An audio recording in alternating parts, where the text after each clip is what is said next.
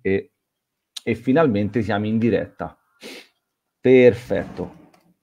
Allora, ci prendiamo qualche secondo così adesso la condivido uh-huh.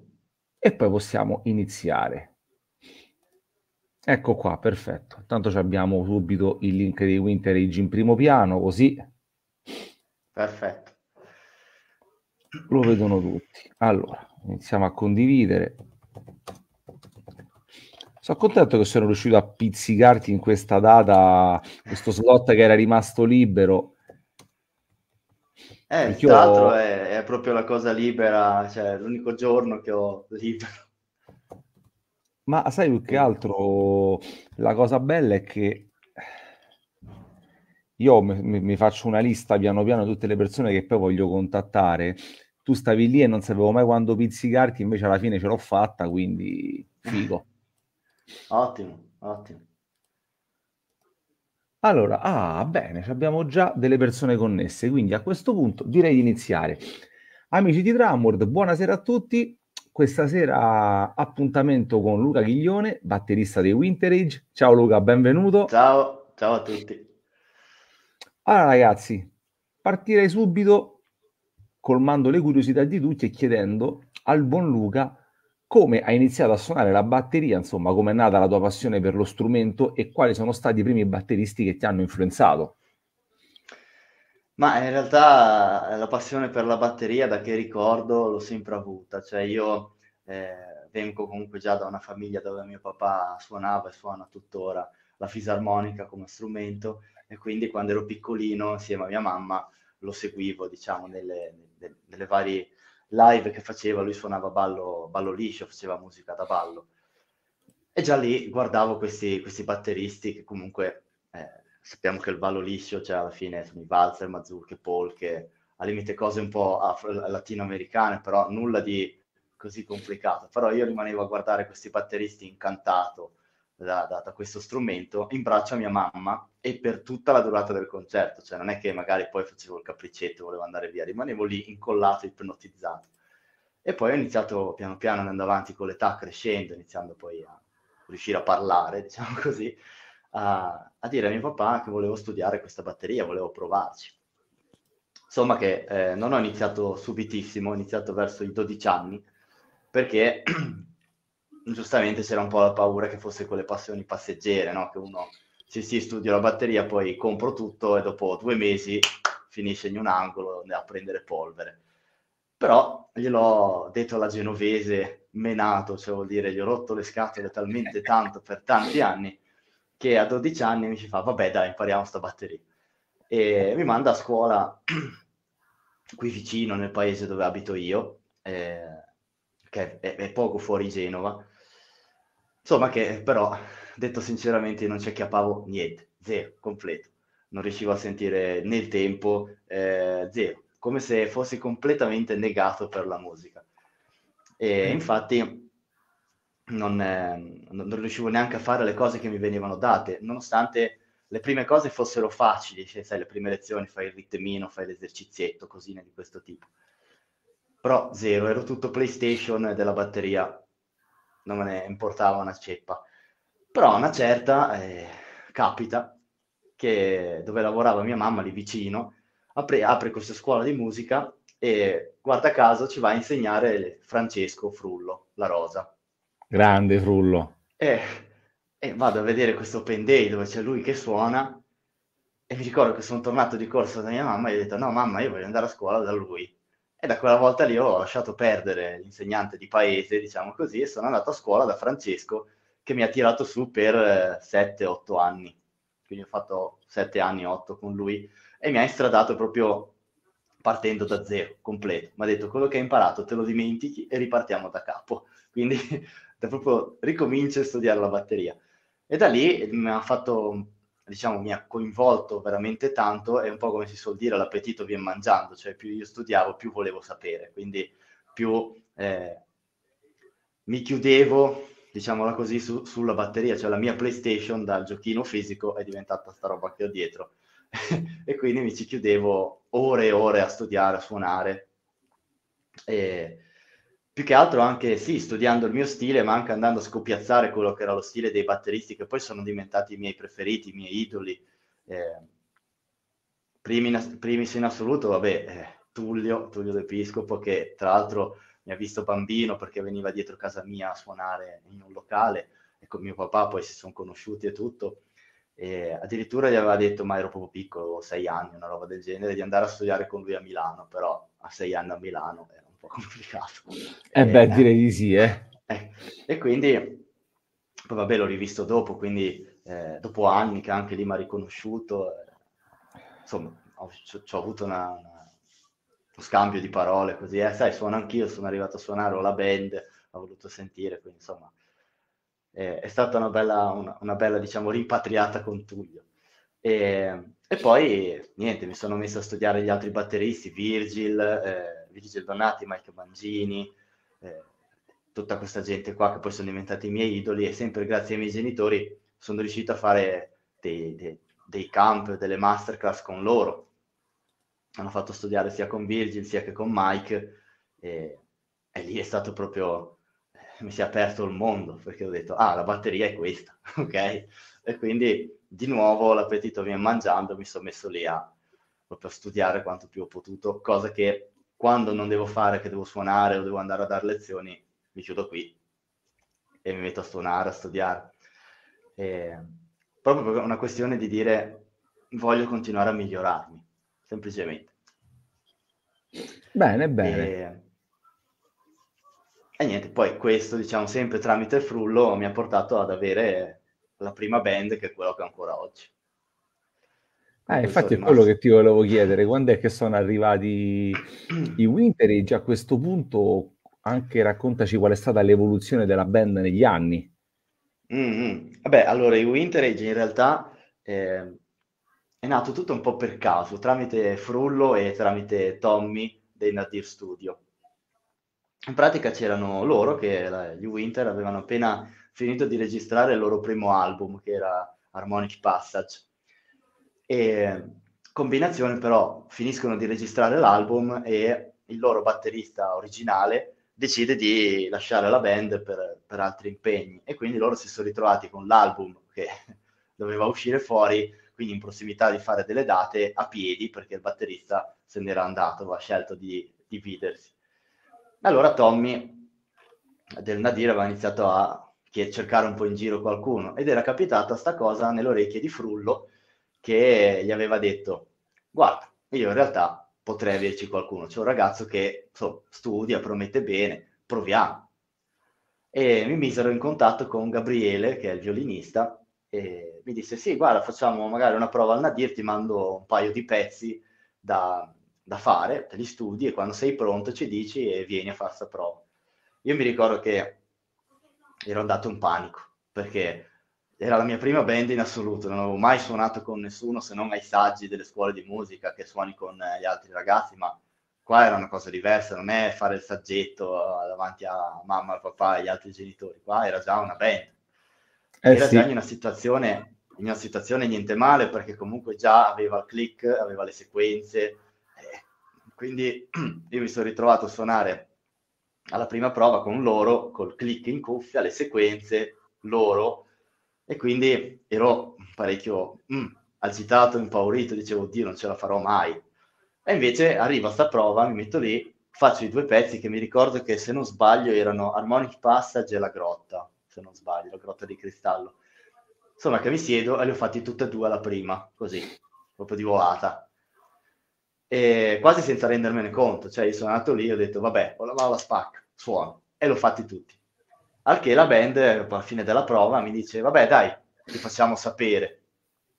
Il giorno dopo mi scrive Gabriele e mi fa, guarda, sei dentro, punto, basta. E quindi lì è stata la... ed ero anche minorenne, mi sembra che avevo intorno ai 17 anni, una roba del genere, ed era... Eh, l'anno non me lo ricordo, vabbè, però comunque ero, ero, molto piccolo, giovane, non avevo ancora esperienza, quindi da lì ho iniziato a fare i primi live con loro. E... Eh, infatti ti volevo chiedere, fare il primo live? Cioè, prepararsi Beh, per fare il primo live, poi salire sul palco e rendersi conto che ok, adesso inizio a fare sul serio. Beh, è stata un'emozione forte in quel, in quel frangente, cioè il momento in cui sali sul palco.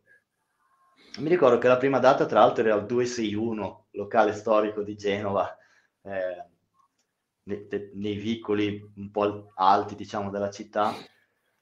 E tra l'altro c'era il locale pieno, perché eravamo noi e un'altra band che ora mi sfugge il nome, però c'era il locale a tappo e forse gli Altair, eravamo a suonare con loro, tra l'altro il loro chitarrista dell'epoca è il chitarrista che abbiamo noi adesso, cioè c'è stato questo. Ah, bene, tutto arriva. in famiglia rimane. Tutto in famiglia. E, però la prima data è stata veramente una roba che io mi sono preparato i pezzi, li studio, vado sul palco, li suono davanti alla gente che fa un sacco di casino, fa un sacco di rumore, diciamo così, stragasata, e in quel momento il mio unico pensiero è stato che figata, cioè io voglio fare questo. E quindi da lì sempre più a studiare, sempre più a migliorare i pezzi, per creare proprio anche il sound della band, perché essendo che il disco Harmonic Passage era già stato registrato, ovviamente c'era il sound del primo batterista, non il mio.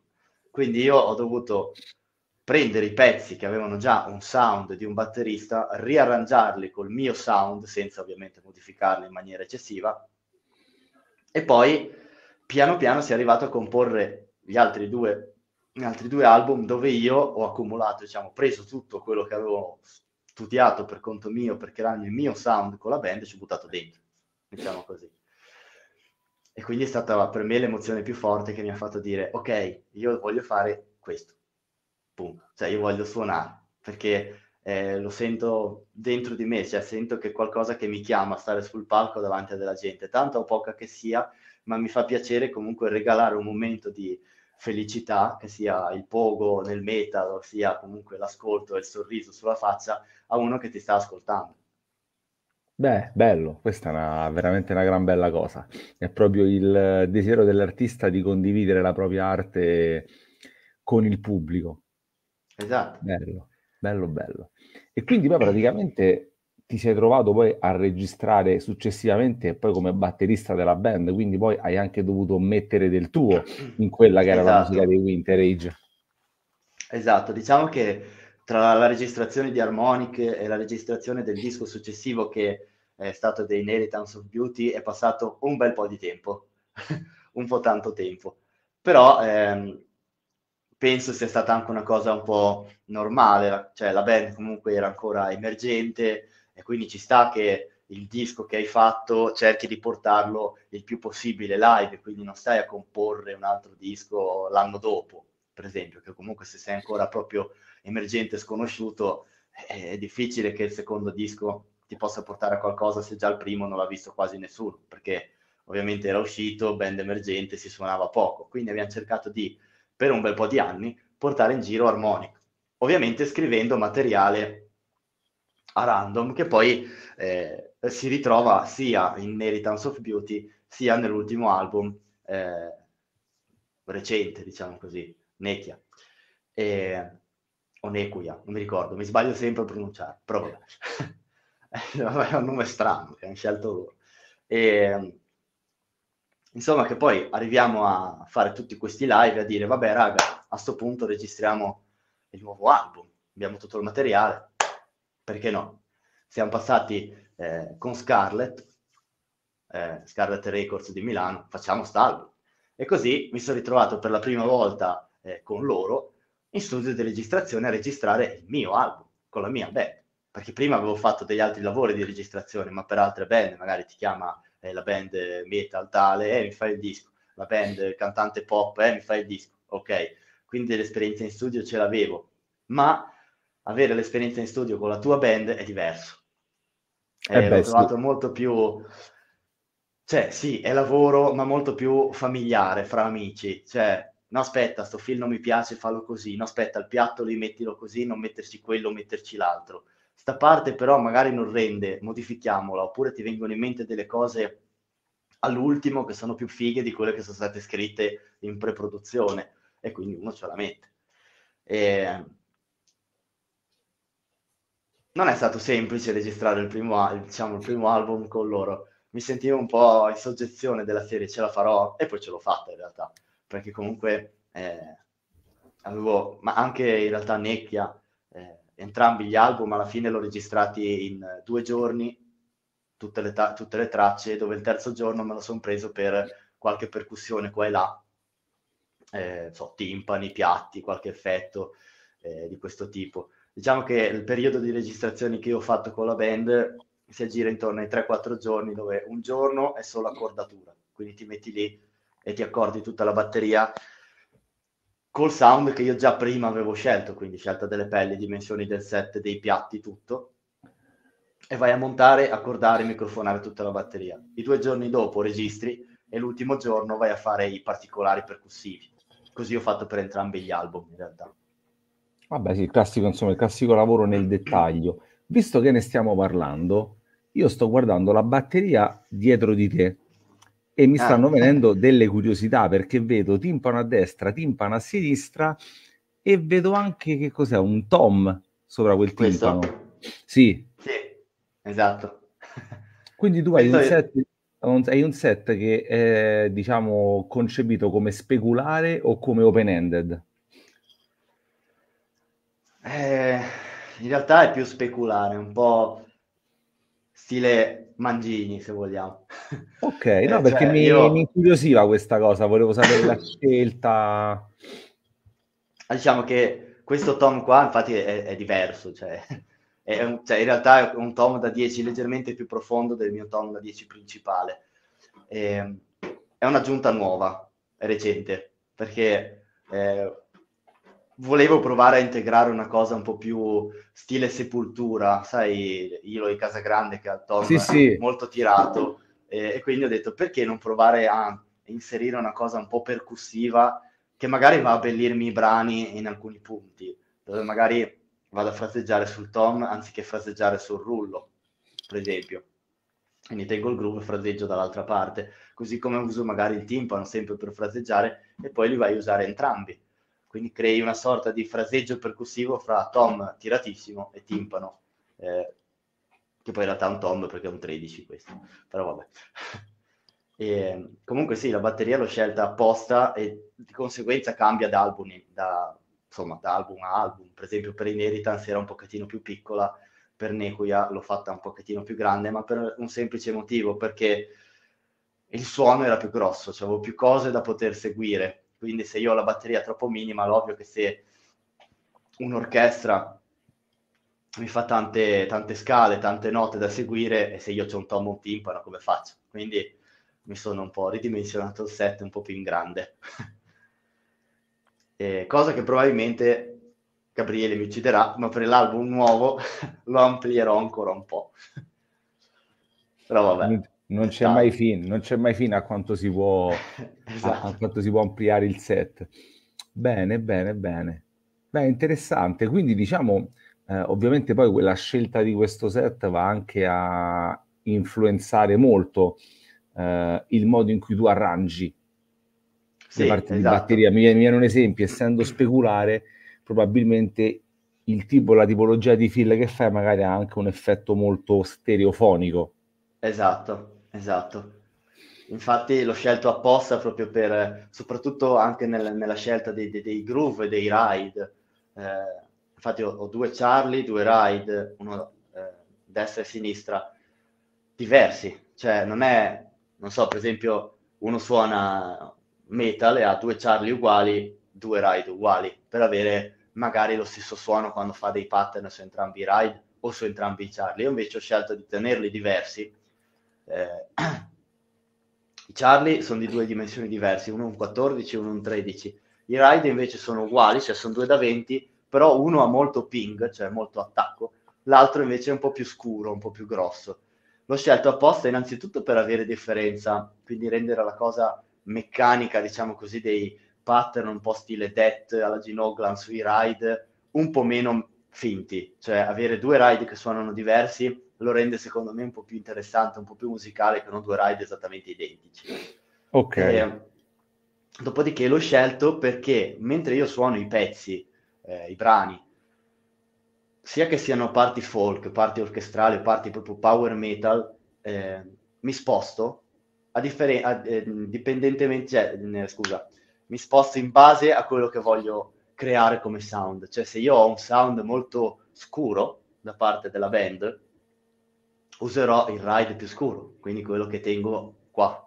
Quindi okay. suono left per capirci. Se c'è il classico invece tempo power alla tuppa tuppa, diciamo così, eh, userò il ride quello un pochettino più acuto perché in un, eh, mi sembra si chiami Skunk Beat, no? Il tuppa tuppa tuppa. Sì, sì. I nomi. Ecco, in quello mi serve un ride che buchi di più, quindi che abbia più campana, più belle, più ping, ed è lui. Quindi in base a dove devo suonare, mi sposto a suonare right o suonare left, sostanzialmente. Figo, figo. Anche i Charleston hanno due tipi di timbro diversi o invece il timbro sì. è uguale?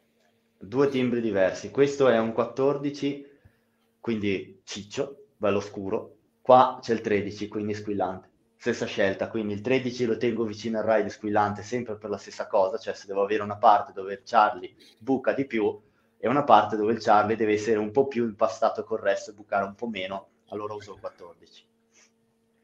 Ok, e senti un po', domanda diciamo più che altro logistica. Eh, se ti è capitato di suonare magari in qualche contesto live con più band tipo festival, eh, come gestisci il cambio palco e il montaggio del set se hai, diciamo, questo tipo di esigenza comunque molto particolare? Beh, in realtà ehm, non posso ovviamente, appunto, essendoci altre band, portare tutta sta roba che ho dietro perché è un po' complicato.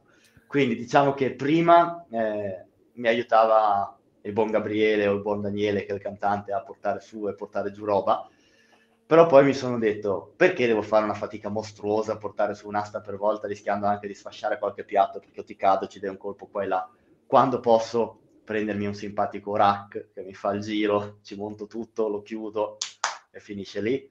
Cioè è molto più veloce portarlo sul, sul palco. Ovviamente eh se beh, sì. devo, devo, suonare io, che siamo noi magari a The Liner o siamo da soli e ho la mia batteria, no problem.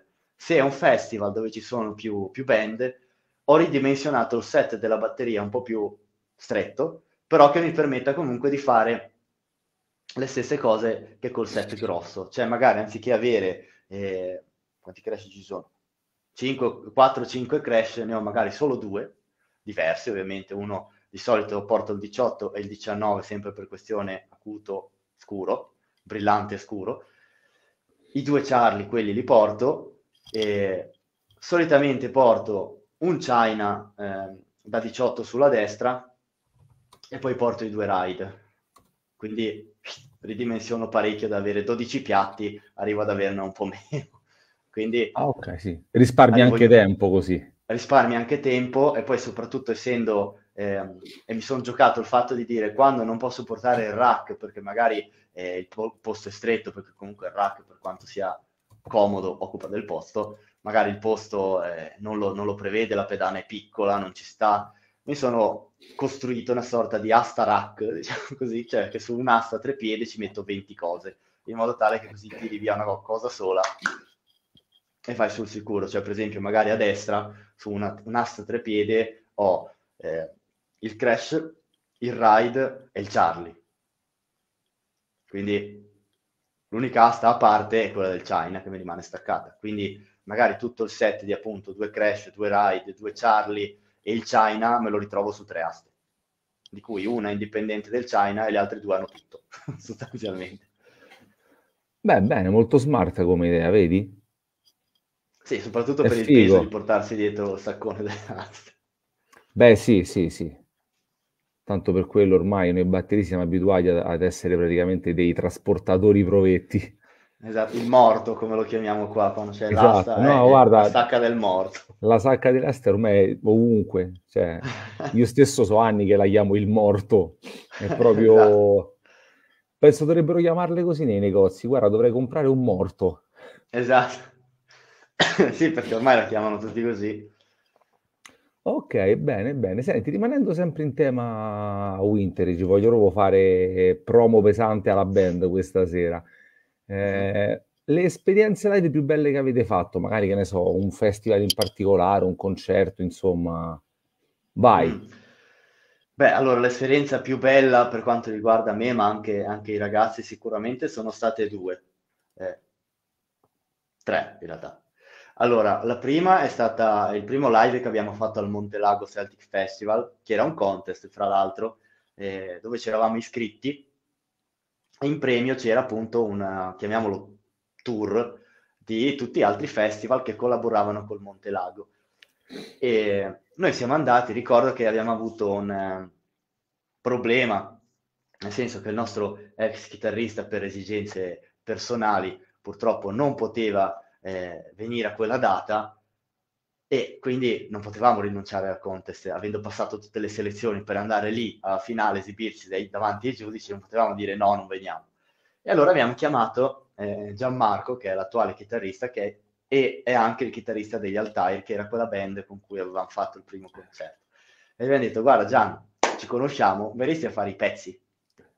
E lui ha detto, sì, me li studio e veniamo siamo riusciti a fare quel live senza fare nessuna prova con Gianmarco, cioè lui è arrivato professionalissimo, si è messo sul palco e ha fatto i pezzi tutti, live buona la prima, con il line check e Grande. abbiamo vinto il contest. Cioè lui, grazie a lui abbiamo vinto il contest sostanzialmente. E infatti non credevamo, cioè abbiamo detto vabbè ma dai lo vincerà l'altra band, vincono i Winterage, abbiamo bevuto birra tutta la sera per festeggiare ovviamente, però vabbè. E da lì, avendo vinto il contest, ci ha portato all'anno dopo a fare tutti i vari festival che erano, diciamo, eh, organizzati insieme al Montelago, quindi eh, Mutina Boica e tutti questi altri festival qua, tutti uno più figo dell'altro, davanti a, veramente un sacco di gente, e a ritornare pure a suonare al Montelago. Però, a differenza del, del contest che era sul palco, diciamo, secondario, eh, al Mortimer Pub, mi sembra si chiamasse, al main stage. Cioè okay. dal palco secondario siamo finiti sul main stage eh, insieme a, ai Corpi Clani e ai Nano War of Steel. E noi suonavamo, eh, mi sembra, alle 9, poi subito dopo di noi i Corpi Clani, band enorme, e dopo i Nano War, band altrettanto enorme. E lì è stata proprio un'emozione pazzesca perché è stata veramente la prima volta che io sono salito sul palco e mi sono trovato davanti letteralmente un mare di gente. Che quindi nel momento stesso in cui il palco ha fatto il flash sul pubblico, io ho visto tutta questa marea di gente che ho detto, oddio, quanta gente, cioè ero proprio paralizzato. Infatti ho iniziato a tremare un pochettino, no? Perché ero agitatissimo, io sono uno molto timido in realtà, quindi quando si trova davanti a un sacco di gente, oddio, mi blocco un attimo, poi però mi sblocco e parto. E è stato fighissimo, a parte la mole di gente, avere proprio i cameraman sul palco con le telecamere, perché ai lati c'erano i mega schermi che mandavano il video in tempo reale per la gente che stava proprio lontano, che sennò non ci vedeva piccolissimi.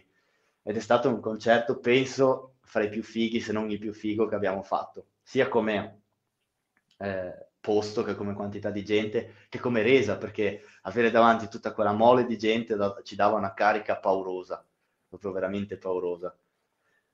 E poi direi che l'altra cosa figa che abbiamo fatto, che mi è piaciuta tantissimo, è stato il tour che abbiamo fatto a fine anno scorso in Inghilterra. Abbiamo fatto eh, tre date, abbiamo fatto Manchester, York e Leeds, ma è stata una figata, perché veramente è stato bellissimo un'esperienza fantastica, anche lì gente e un riscontro super mega positivo da, da, da, dal pubblico, perché ti dico, noi siamo partiti ehm, con un bel valigione di merch eh, da, vendere, dicendo, vabbè, qualche cosa ritorniamo, no? diciamo, non venderemo un valigione da 25 kg di roba, e invece no, l'abbiamo venduto tutto, tipo alla prima data, quindi c'è stato un attimo di, eh, e mo cosa vendiamo? Quindi poi diciamo che c'è stato un, vabbè, tra le altre date siamo tornati da tutto il tour, forse con un paio di magliette, ma per il semplice motivo che erano taglie troppo piccole per quelli che la volevano comprare. quindi, e quindi siamo rientrati con queste tipo tre maglie e poi ho dovuto fare a casa però gli questi, ordini. Questi sono i problemi belli però. Sì, questi sono i problemi belli, perché comunque vuol dire che per essere stata appunto la prima volta che la band Winterage ha messo il muso fuori dall'Italia ed è andata lontano dall'Italia, perché comunque siamo andati in Inghilterra e siamo piaciuti un sacco, vuol dire che, che siamo piaciuti sul serio, perché sennò non vedevi il match. Era diciamo un tour da headliner o eravate in supporto a qualcuno? In realtà era un tour eh, misto, eravamo tre band, di cui okay. eh, noi e i Fellowship, che siamo tutte e due sotto Scarlet, e poi c'era una band eh, di, mi sembra, York, i Sellsworth, e ci alternavamo. Abbiamo fatto tre date dove okay. prima erano Deadliner 1, poi gli altri, poi noi. Noi siamo stati a Deadliner nell'ultima sera a Leeds, eh, dove abbiamo dovuto fare lo show più lungo, eh, perché diciamo che l'alternanza era band apertura, show di, mi sembra, 40 minuti, poi c'era l'altra da un'oretta, e l'ultima band, le Deadliner, da un'ora e mezza. Ah, ok, ok.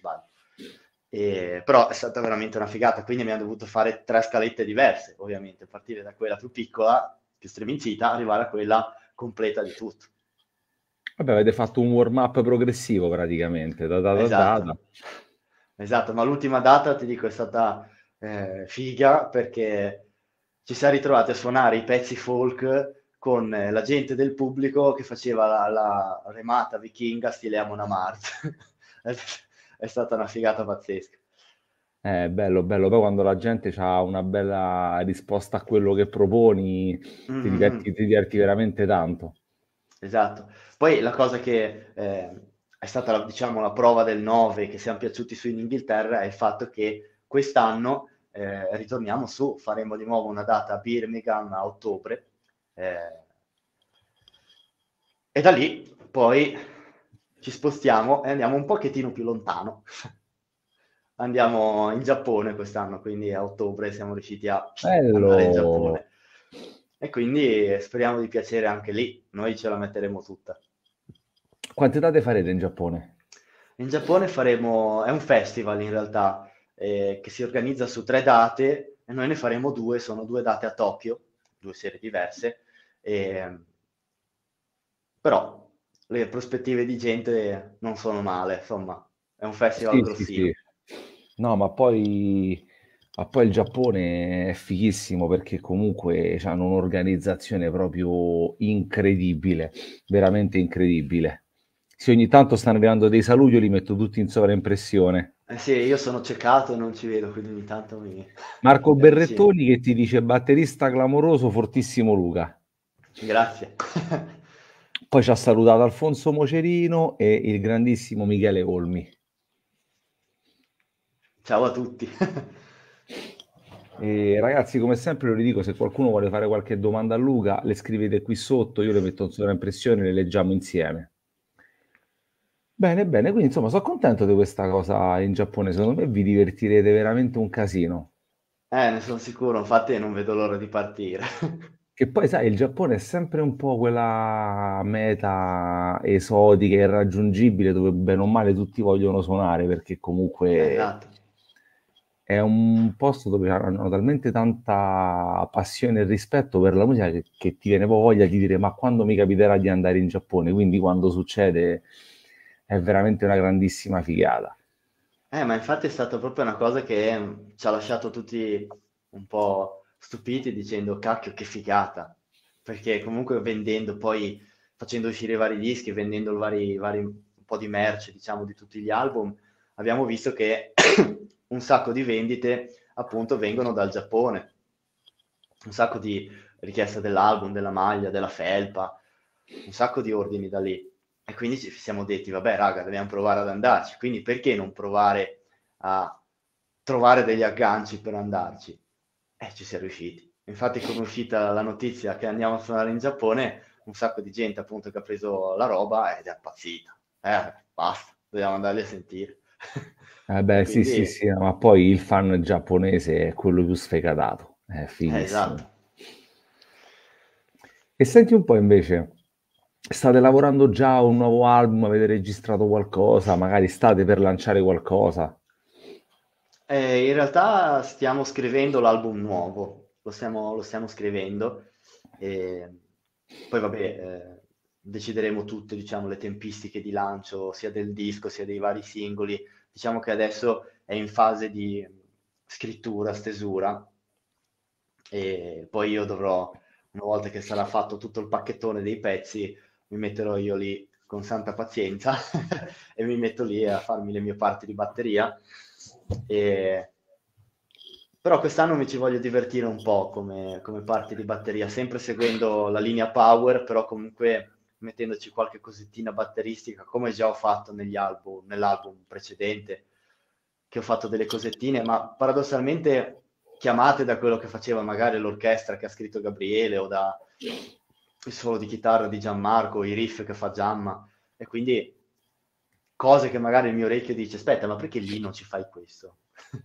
Poi magari una volta scritto non mi piace, una volta suonato non mi piace, però spesso e volentieri invece risulta una cosa che in realtà è molto bella da vedere, da sentire, soprattutto mi diverte spostarmi, per esempio l'ho fatto in eh, The Cult of Hecate del, dell'album Nekia, eh, nella parte finale dei soli loro fanno questo, questo riff un po' solistico e io suonando diciamo dritto terzine, tutto tupato, tutto tupato, tutto, mi sono spostato sul tempo sostanzialmente, do una rhythmic illusion, chiamiamola così, mentre loro si fanno un loro solo. All'inizio ho detto, vabbè, magari gli, dis- gli disturba sta cosa, però in realtà poi scrivendola e suonandola ci stava da Dio, ho detto, vabbè, allora la tengo. Quindi faccio il mio. E poi anche lì è un brano in realtà abbastanza complesso, che metterci le batterie non è stato facile, perché già l'intro si alterna fra quattro quarti, due quarti, quattro quarti, tre quarti, quattro quarti, insomma, eh, non è facilissimo. Poi sono battute sporadiche, non è che il tre quarti ti dura quattro battute, dura una battuta sola in fondo al giro. Quindi ti devi ricordare che il primo giro c'è due quarti, il secondo ce n'è tre, poi ce n'è quattro, e poi cambia di nuovo, poi c'è di nuovo il tre, e poi cambia sì, sì. riff di violino. Quindi poi se vuoi giocare sul tempo ti devi anche calcolare quante battute hai a disposizione per mantenere quella modulazione. Esatto, esatto, sostanzialmente sì. Devi guardare, parlando di ciclo ritmico, quanto ti dura e nel caso sfori lo devi tagliare in qualche modo, perché sennò è troppo... Eh lungo. sì, qualcosa ti devi inventare. Beh, però queste qua sono quelle cose che poi appunto, come hai detto te, ti ci diverti tantissimo a farle.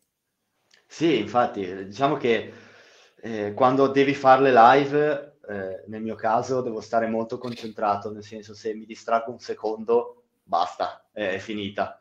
Infatti devo proprio fisicamente, quando sto, che so che sta arrivando quella parte, mi blocco un pochettino, cioè mi fermo, rimango un pochettino più stabile sullo sgabello e proprio parlo al mio stesso fisico, cioè mentalmente parlo a me stesso dicendomi, ok, adesso per riuscire a fare quella parte devi girare e guardare il ride. Cioè, se io non faccio quella cosa, sbaglio.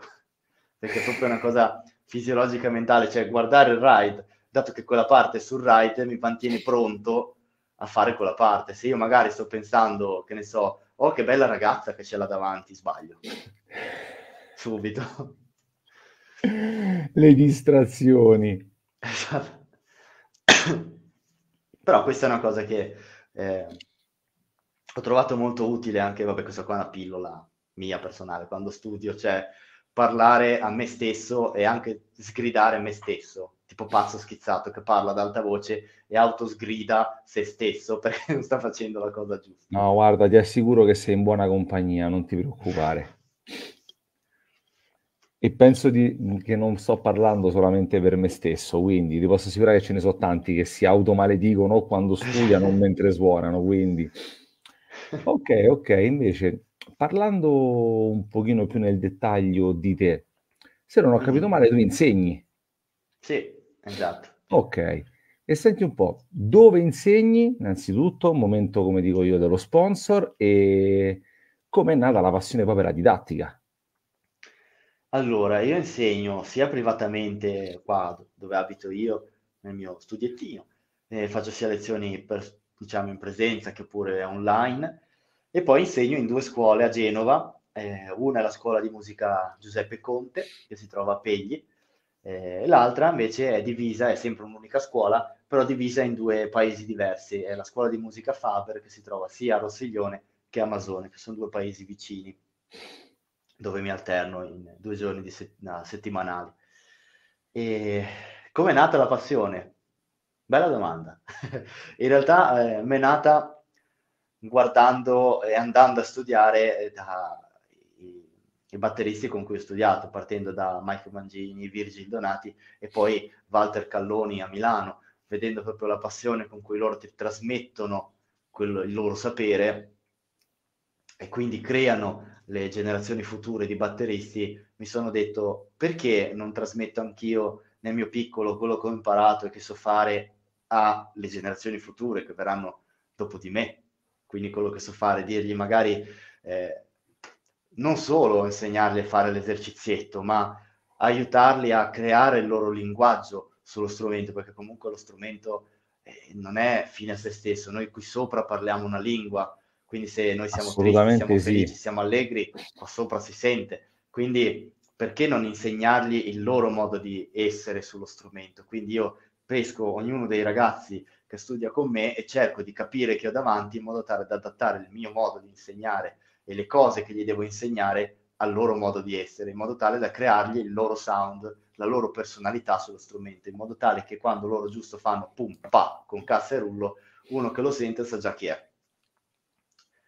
Che non è facilissimo in realtà, non, non, lo fanno proprio tutti, diciamo io preferisco non far fare l'eserciziettino o comunque se te lo faccio fare poi te lo faccio applicare in questo modo, cioè ti dico l'esercizio è questo, bene, come lo applichiamo sul set? In mille modi. E da lì si apre proprio il mondo, da un esercizio banale come può essere un paradiddle o un qualsiasi rudimento ti si apre il mondo, poi che puoi fare quello che vuoi.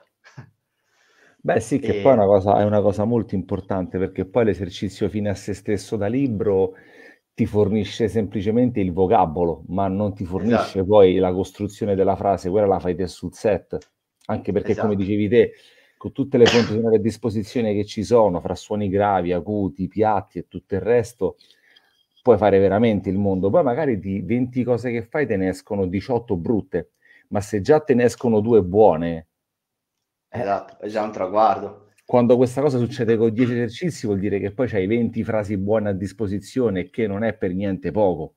Esatto, esatto. Eh. E quindi la passione per l'insegnamento è nata da lì, dal provare a trasmettere la mia conoscenza e anche le mie esperienze live, studio, qualsiasi cosa che ho vissuto io agli altri e che continuerò a vivere, cioè qualsiasi esperienza io andrò a fare, live, studio, eh, di tour, non tour, qualsiasi cosa, anche di studio, vado poi a trasmetterla a chi studia con me. Cioè, magari degli errori che ho fatto io studiando, cerco di dire, guarda, se fai così, arrivi all'errore. Cioè, è un metodo magari sbagliato. Fallo così. E allora li mando subito sulla strada giusta che io ho percorso, ma dopo essermi accorto che ero su quella sbagliata. Quindi magari mi eh, ci, messo, sì. ho messo un anno o due a capire che stavo facendo un errore e allora poi ho detto, aspetta, è sbagliato, e quindi studiati quello giusto. Io allora trasmetto direttamente quello giusto dicendo, guarda che se lo fai in questo modo è sbagliato, fallo così, allora è più giusto. Quindi ti risparmio due anni di fatiche inutili. Vabbè, buono, eh, mi sembra insomma un, un, ottimo metodo anche perché ecco, indirizzare i ragazzi già su, una, su un determinato binario che gli permette di evitare alcuni rallentamenti, anche se poi non sempre questi facciano male, però insomma è, è una gran bella cosa. Sì, sì, esatto. Poi diciamo che ehm, anche a livello di, di, spiegare magari l'esercizio o banalmente il feel da fare o anche il brano da suonare, preferisco farci arrivare il ragazzo, lo studente, che non dirgli tutto io. Perché eh sì. io gli dico tutto come ti dico, ok, leggi, e basta, cioè ti do proprio tutto il testo da leggere, tu leggi a papagallo, però non ti è rimasto nulla di quello che esatto. Invece io preferisco magari far ascoltare, per esempio, studiamo un brano, faccio ascoltare il brano e faccio fare al ragazzo, allo studente, dirgli, ok, cosa hai sentito nel brano? Com'è la ritmica? Com'è quel feel? E lo faccio scrivere o tirare giù a lui, quindi lui mi dice, eh, secondo me il feel è così, il groove è così. Poi magari sono io che dico sì oppure no nel caso dico sì, gli dico ok, però c'è questa cosa in più, c'è quest'altra cosa, non è un tom, è un timpano, per esempio, oppure c'è, c'è il piatto, o nel caso sbagliano, gli faccio vedere com'è effettivamente il groove o il feel e gli faccio capire perché è così. E poi lo vado a scorporare, groove e feel che siano, per tirarci fuori quello da cui il batterista originale che l'ha suonati è partito, perché alla fine sia i groove che i feel partono da degli esercizi tecnici che poi vengono evoluti. Quindi vado a scorporare, a smembrare tutto finché non trovo qualcosa di base da cui il batterista è partito. E poi si fa l'esercizietto tecnico che ti porta Bello. a fare il, il feel o il groove che si è studiato. Bello, bello, mi piace molto, vedi? Eh, vedi, lo dico sempre, da ogni diretta si, si impara sempre qualcosa. Bene, bene. Eh, ma poi tutti questi trucchettini qua l'ho imparati piano piano. Sì, no, vabbè, ma poi sai com'è la, la vita del musicista ci offre talmente tante opportunità a livello di, di stimoli, intuizioni, che poi alla fine cioè, cresci ogni volta, cioè secondo me ogni concerto ti fa tornare a casa, anche se hai suonato la stessa cosa, eh, però torni sempre a casa con qualcosina in più perché... Assolutamente sì, banalmente da qualsiasi imprevisto possa succedere sul palco. Sì, sì, ma guarda, da qualsiasi imprevisto, ma anche se tu dovessi fare cinque concerti che vanno tutti bene, magari capace che in quei concerti migliora, che ne so, la tua percezione del corpo mentre stai suonando e magari, che ne so, trovi un angolo del piede sul pedale che non hai mai provato, che ti c'è per caso e fai cavolo così gira ancora meglio e sono pochi millimetri. Mm. Oppure la posizione di un piatto che l'hai messa leggermente diversa perché c'era poco spazio, ma scopri che è più comoda. Cioè, secondo me, ogni volta che siamo seduti sulla batteria è l'opportunità giusta per capire qualche cosa di nuovo. Assolutamente sì. Ed è un grandissimo stimolo. Ok, bene. Invece adesso una curiosità. Eh, tre o cinque album che tu eh, ritieni siano stati fondamentali per la tua formazione musicale? Ah, eh, bella domanda. Beh, infatti allora... ho allargato da 3 a 5, infatti, perché spesso poi ce ne sono sempre di più. Eh, eh in realtà dirò una cosa che magari va un po' fuori dagli schemi, cioè non ho album che mi hanno, eh, diciamo, ispirato, ho più batteristi e pezzi o band che sono andato a sentire sporadicamente, cioè che sporadicamente andando proprio a sentire mirato dei pezzi o mirato degli stili di batteria per rubare qualcosina per creare il mio stile di batteria. Quindi okay. ti direi sicuramente come band eh, i Dream Theater, eh, quindi so, pezzi come possono essere Dance of the Eternity, Nightmare to Remember, vedi che già spaziano un pochettino. eh, eh, Count of Tuscany, tutti i pezzi di questo tipo. Bella quella, bellissima. Quella è, è bellissima. E, oppure band un po' più... Ehm, diciamo che i Dream Theater lo, con questi pezzi e anche altri l'ho presi principalmente per basarmi un po' su come un batterista come poteva essere Mike Portnoy o Mike Mangini negli ultimi album, potesse concepire l'applicare la batteria a dei tempi dispari, complessi anche, che mi sono detto perché potrebbe capitarmi benissimo con o la mia band o un'altra band di suonare della roba di questo tipo e devo essere in grado di comunque affrontarla, non posso dire no, non riesco a farlo perché sono tempi strani. E, e quindi l'ho presa per questo, per questo verso qua, cioè analizzare i Dream Theater e rubare loro, la loro concezione di suonare questi tempi dispari o tempi irregolari. Poi ho preso band come magari eh, più power, tipo i Rhapsody of Fire o Rhapsody in generale, eh, i Nightwish, più per la concezione di come la batteria va applicata sul power, quindi quali sono le ritmiche power standard, come suona una ritmica power, quali sono i fill da applicare nel power, quindi qui i Rhapsody con Alex Oswald alla batteria, mi sono mi stati dico. d'aiuto tantissimo, eh, così come i Nightwish con, eh, sia con Yuka sia che con Kai, entrambi, perché mi è proprio piaciuto, mi sono proprio divertito a mettermi lì e vedere, ok, per esempio, come suona Wishmaster Yuka, come suona Wishmaster Kai, e vedere come la fanno. Simile, ma completamente diversa. Cioè, uno ha un modo, l'altro ne ha un altro. Prendere da entrambi e mi creo il mio. Bene, bene. Una dramma analysis proprio, figo. Sì, esatto.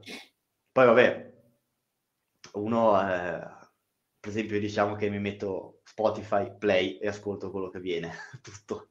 Perché in realtà non mi, non mi piace dire mi limito soltanto al metal, soltanto a, al jazz, se suono jazz.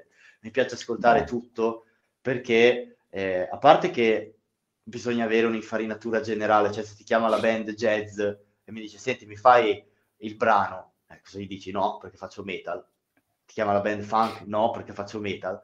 Devi comunque avere un'infarinatura. Ovvio che il metal può essere il tuo genere pre- predominante, quindi uno sa fare meglio degli altri.